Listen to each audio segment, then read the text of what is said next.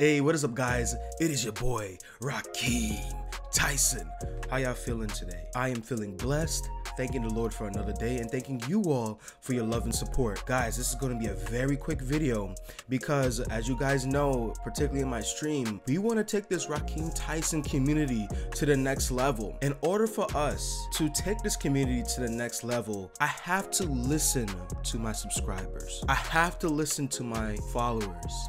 I have to listen to my fan base because I need your help. I really need your help. I'm at the stage where I'm exploring, you know, various content. I'm exploring the way I edit videos, right? To see that okay if you guys are feeling it or not. So I ask you this, what can I do to improve on my videos? Whether it's content and the way I edit my videos. That's the first question. The second question is how can I improve on my streams? I know that a lot of my subscribers are suggesting emotes and bit emotes um, and that's something that I'm currently creating at the moment. But what can I possibly do you know, to help the viewers to be more engaged in terms of my streams.